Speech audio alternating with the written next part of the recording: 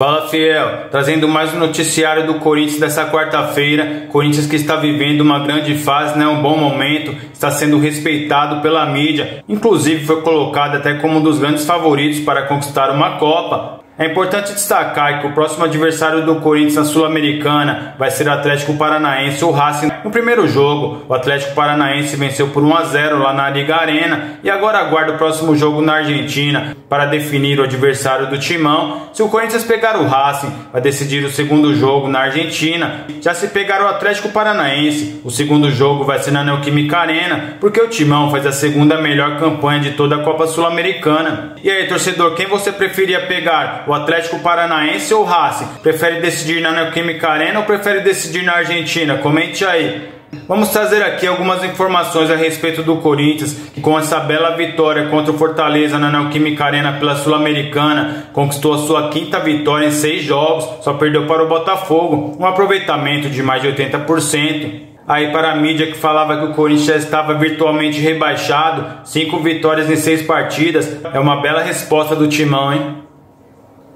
Além disso, a vitória representou um marco no sistema defensivo do Timão, que pela primeira vez desde maio de 2023 conseguiu completar três partidas consecutivas sem sofrer gols. Eu acho que uma grande equipe ela começa por um bom sistema defensivo, né? É assim que a maioria dos técnicos começam a trabalhar, ajustam a defesa e depois começam a melhorar o ataque.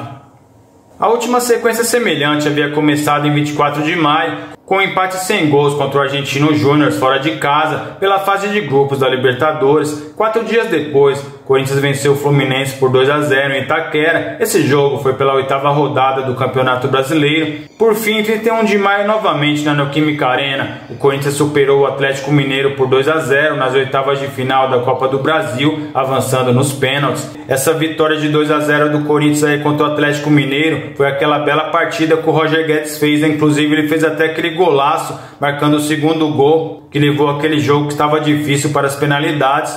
E vale a pena lembrar também que o Atlético Mineiro desdenhou do Corinthians, né? Achavam que já estavam classificados. Agora o próximo desafio do Timão será contra o São Paulo. O jogo vai ser lá no Mané Garrincha, Brasília. E essa vitória contra o São Paulo será muito importante, porque a prioridade do Corinthians ainda é o Campeonato Brasileiro e quem sabe aí pode ganhar uma Copa ou até as duas. Vamos aguardar aí, né, pessoal? E eu vou ficando por aqui. Lembre-se de deixar o seu like, se inscrever no nosso canal e ative o sininho das notificações para receber sempre em primeira mão todas as notícias do Corinthians. Então até o próximo vídeo.